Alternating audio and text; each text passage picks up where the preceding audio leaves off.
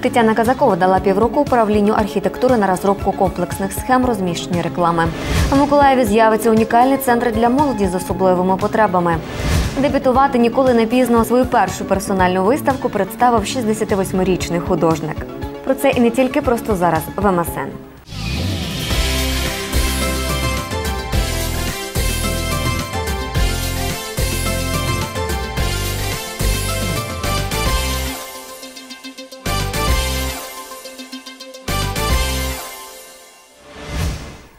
Вітаю в ефірі телеканалу Март. Муніципальна служба новин в студії працює Марина Михайловська.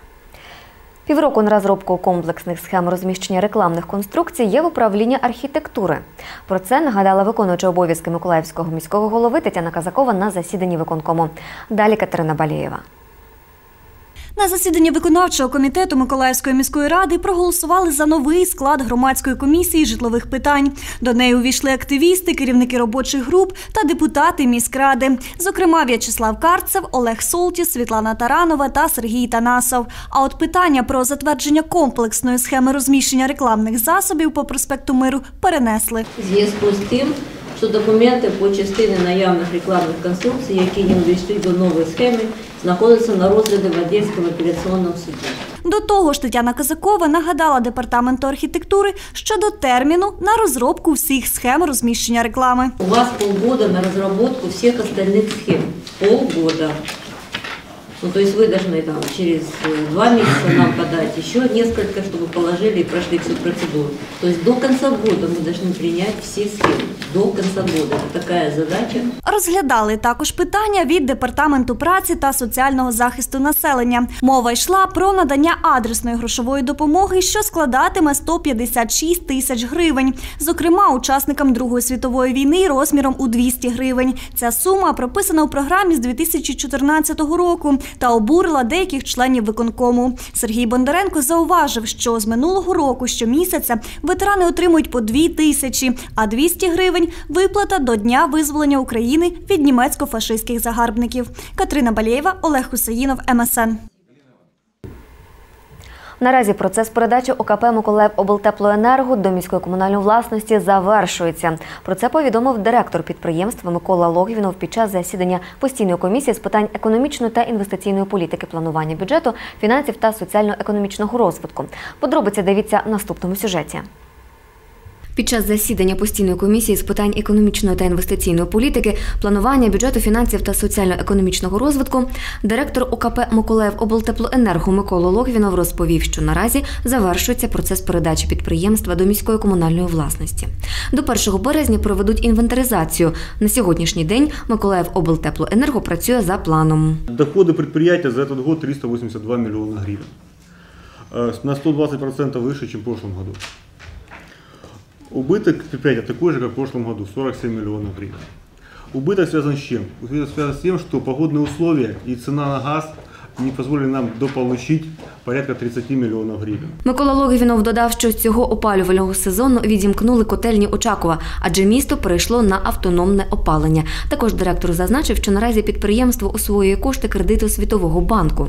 В этом году мы зак- зака- заканчиваем 1 апреля изоляцию теплосетей, 26 километров сетей. Нами подписан договор, и в этом году, начиная с апреля месяца, мы начинаем монтаж 103 ИТП в корабельном районе. В этом году э, у нас начинается перекладка сетей и закрытие котельный океан. Общая сумма контракта 2 миллиона 400 долларов. Крім того, цього року проведуть тендер на реконструкцію 32 котелень на суму 11 мільйонів доларів. Члени комісії прийняли цю інформацію до відома. Також вони заслухали останні дані про створення госпітального округу в Миколаєві. Наш госпітальний округ, в який буде входити обласний центр міста Миколаїв, він буде е, називатися третім госпітальним округом області. І до нашого госпітального округу буде, крім міста Миколаєва, який є обласним центром, входити ще такі регіони, як Березанський, Миколаївський, ем, Очаківський райони, і Снігурівський, Новоодеський, Березнігуватський і Вітовський райони. Після створення госпітального округу в Миколаєві планують відкрити дві лікарні інтенсивної терапії. Друга е, така досить така серйозна планується реорганізація це створення двох абсолютно однакових відділень хірургічної допомоги, які будуть надавати е, двом районам, двом регіонам однакову допомогу, як екстрену, так і планову. Марина Михайловська, Наталя Паламарчук, Павло Ткаченко, МСН. Протягом 2017 року більше ніж 67 тисяч сімей міста отримали житлові субсидії. Про це повідомили на колегії департаменту праці та соціального захисту населення Миколаївської міської ради. Окреслили і пріоритетні напрямки роботи на 2018 рік. Щорічну колегію департаменту праці та соціального захисту населення Миколаївської міськради розпочали з відзначення подячними листами найкращих працівників міста в цій галузі.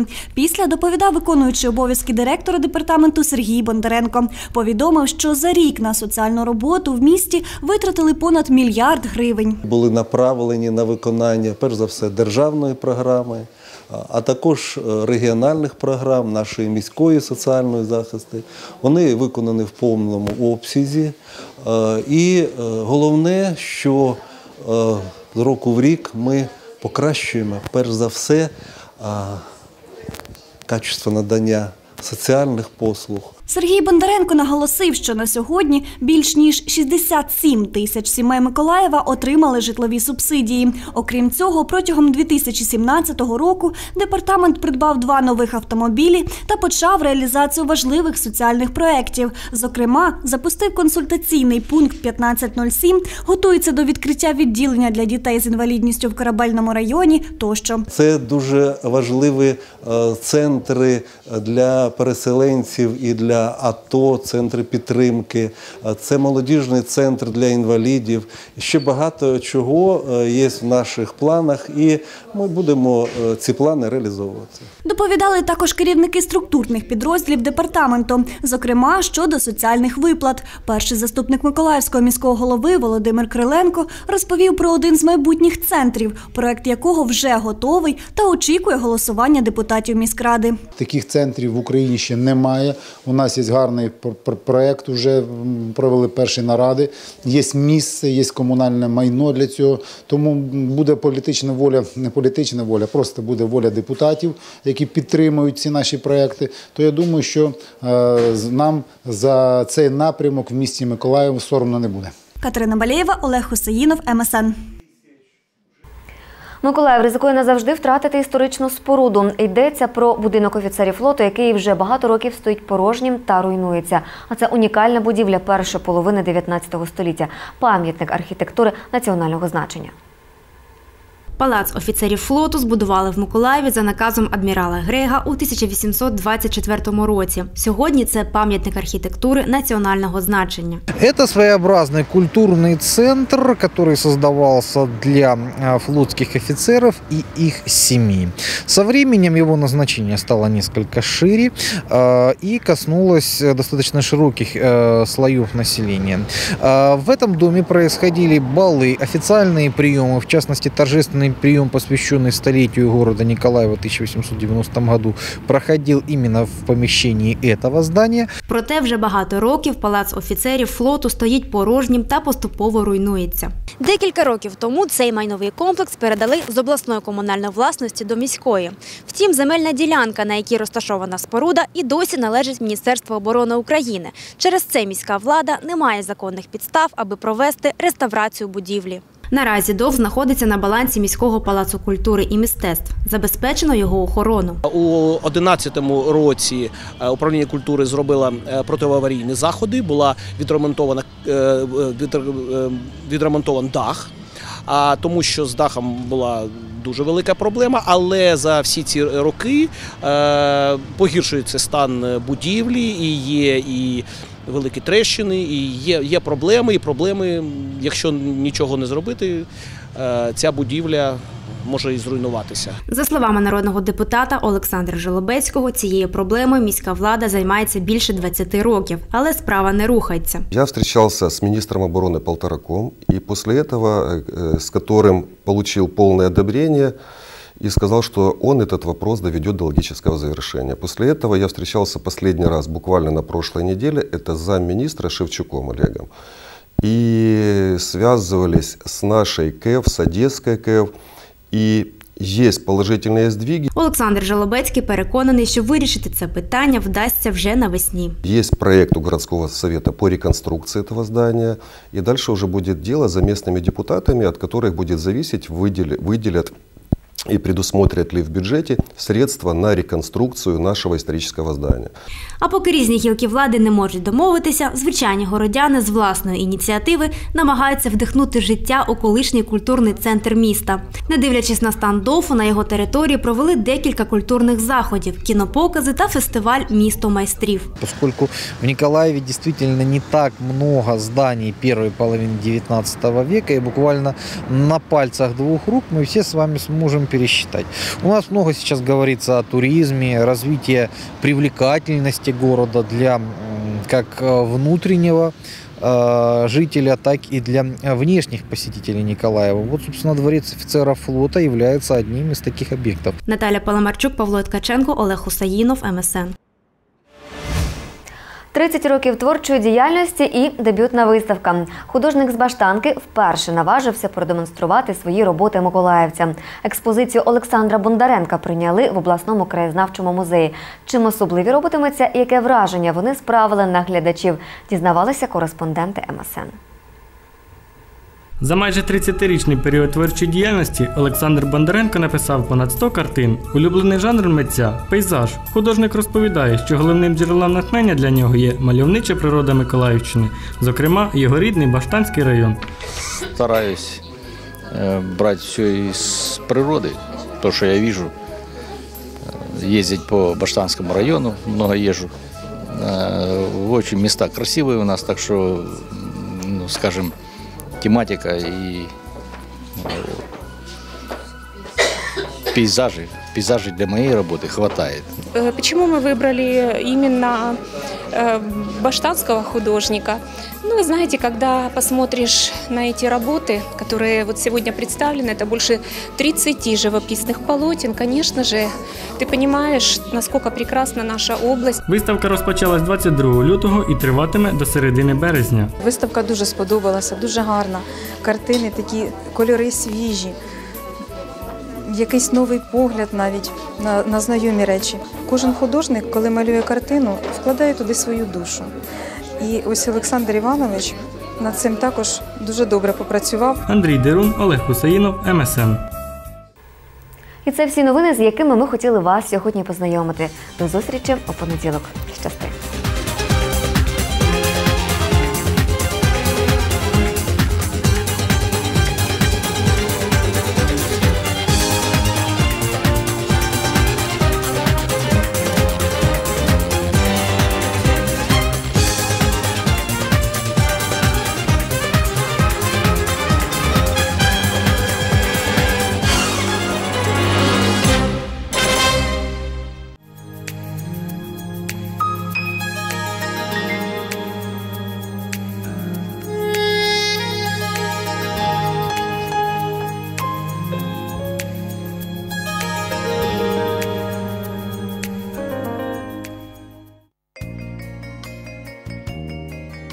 Вітаю вас. Ви дивитесь програму «5 хвилин. Найголовніші, найяскравіші події, гороскоп і прогноз погоди в студії Наталя Бершецька.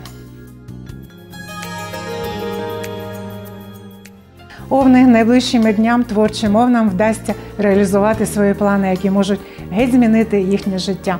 Гарний час, щоб налагодити стосунки з керівництвом, партнерами і клієнтами. Тельці гроші не завжди роблять людину щасливою. Без них, звичайно, дуже погано, але все у ганитві за незалежністю ви забули про своїх близьких. Та є речі, які не купити навіть за великі гроші.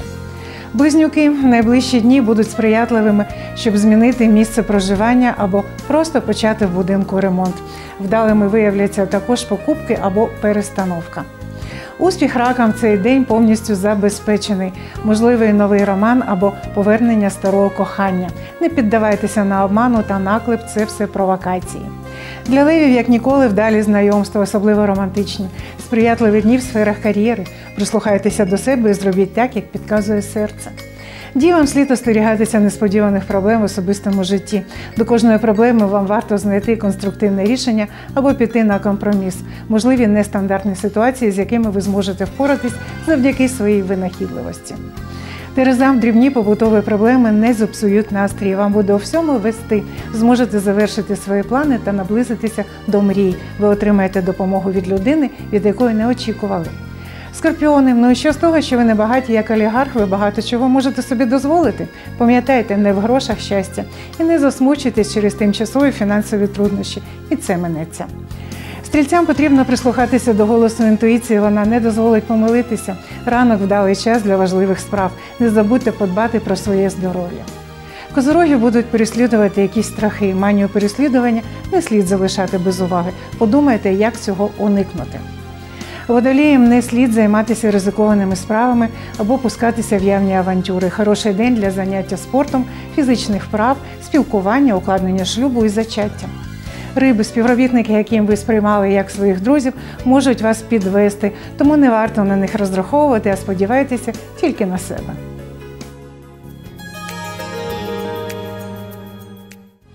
25 лютого 1836 року американець Семюел Кольт отримав перший патент на шестизарядний револьвер 45-го калібру. 1956-го в Сполучених Штатах курка знесла найбільше в світі яйце 454 грами. А народилися 25 лютого П'єр Огюст Ренуар. Французький художник в останні роки життя Ренуар здобув славу і загальне визнання. Його картина Парасольки була занесена до переліку світових шедеврів. Лариса Косач-Квітка, Леся Українка, автор знаної мавки. Українська письменниця і поетеса писала в різноманітних жанрах: поезія, лірика, епос, драма, проза, публіцистика.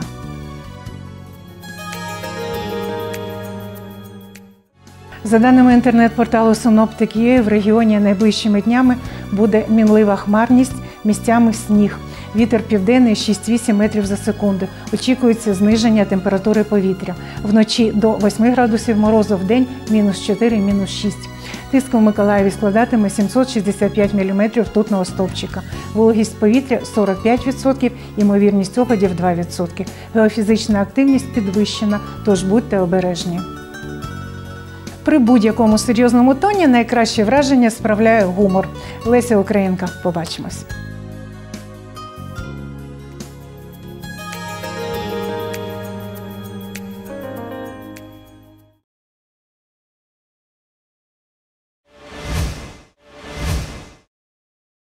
З 1 січня 2018 року в Україні введений обов'язковий біометричний контроль е, щодо іноземців з 70 країн, включаючи громадян Російської Федерації, а також щодо осіб без громадянства. Е, Біометричний контроль е, має на меті забезпечення безпеки, в першу чергу безпеки України, а також дозволяє виявити злочинців та прискорити паспортний контроль, е, тобто поліпшити умови перетину державного кордону. Е, Що для цього необхідно? Е, Громадянин, іноземець або особа без громадянства прибуває на територію України і під час проходження паспортного контролю прикордонник е, просить е, здійснити сканування п'яти пальців правої руки. Е, ска- Сканування здійснюється за долі секунд, і на моніторі у військовослужбовця е, висвічуються всі дані вже на цю особу. Е, Це прискорює від це прискорює здійснення прикордонного контролю від 2 хвилин до 20 секунд. Е, На моніторі військовослужбовця відразу виявляється інформація, якщо громадянин є в розшуку. Так, наприклад, вже в цьому році в аеропорту Херсон ми виявили іноземця, який перебуває у розшуку у Франції за здійснення е, продажу наркотиків. Цю особу ми затримали та передали співробітникам національної поліції. Кожен наступний раз, коли громадянин іноземець або особа без громадянства потрапляє на територію України, е, здійснюється відбиток лише чотирьох пальців. Щодо українців, це не стосується. Громадяни України, е, як і раніше, е, можуть користатись колишніми старими документами для виїзду за кордон або новими біометричними паспортами для виїзду за кордон. Громадяни України, які мають біометричний паспорт е, для виїзду за кордон, е, прикордонний контроль можуть пройти набагато швидше. Для оформлення звичайного паспорту військовослужбовцю надається до 2 хвилин, а при наявності біометричного паспорту такий контроль здійснюється протягом 2 секунд.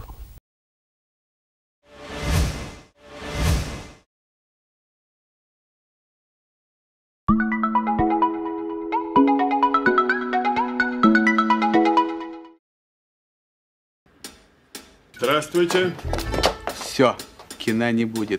Коли в Миколаєві відбувався злочин, звістка про те, що буде працювати собака-шукач Гекса, розносились протягом півгодини. Гекса це перша собака-шукач Миколаївського карного розшуку. З'явившись в нашому місті восени 1924 року, Гекса відразу ж привернула до себе загальну увагу. Її обожнювали, нею захоплювались, її боялися. Тікаючи, злочинці ламали підбори, втрачали награбоване, намагалися сховатися в сусідніх селах, але найчастіше безуспішно. Ті, хто більш досвідчені, намагалися збити її зі сліду іншими запахами, а деякі намагалися її отруїти. Про гексу часто писали в миколаївських газетах того часу, і навіть збереглося кілька знімків в журналі Бурав. Це факт.